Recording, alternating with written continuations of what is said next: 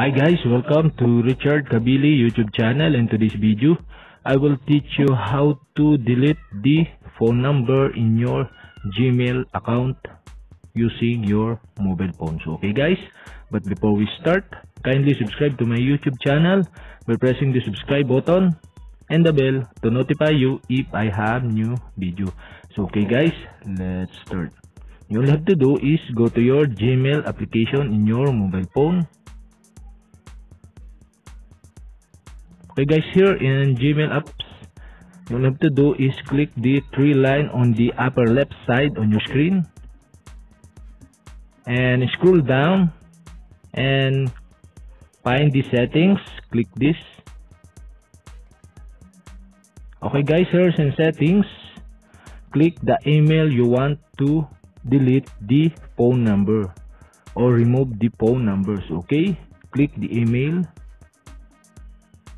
okay guys after you click the email so click manage your google account.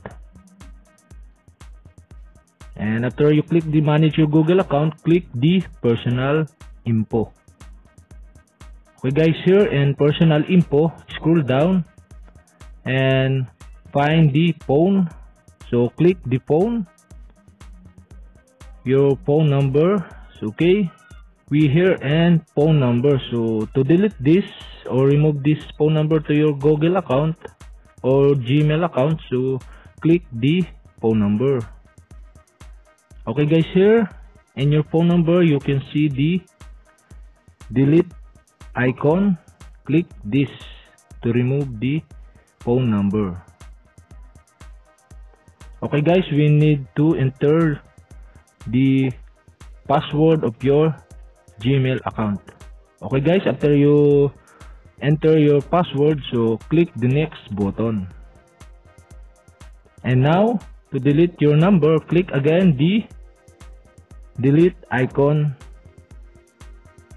So okay guys, the pop-up will show and you can see the remove button or remove number button. So okay, click the remove number button.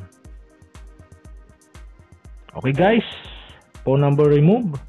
Okay guys, we have successfully removed the phone number on your Gmail account. So okay guys, that's it. And if you have a question, kindly comment below. And don't forget to hit the subscribe button and the bell to notify you if I have new videos. Okay guys, thank you for watching.